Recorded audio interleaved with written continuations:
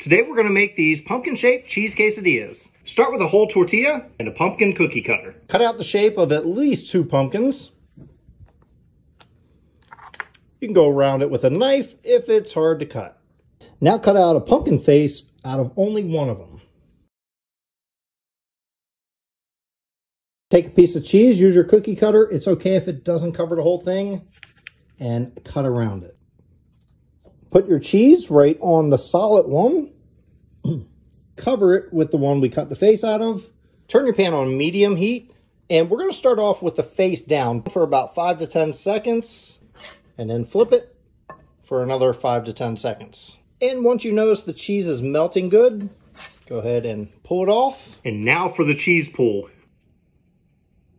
Not much of a cheese pull, but let's try it anyway. Good. And that's why